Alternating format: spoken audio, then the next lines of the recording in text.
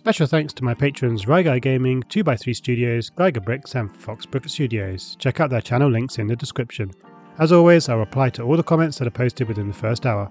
Let me know what was your favourite build or if there's something you'd like to see in my next video.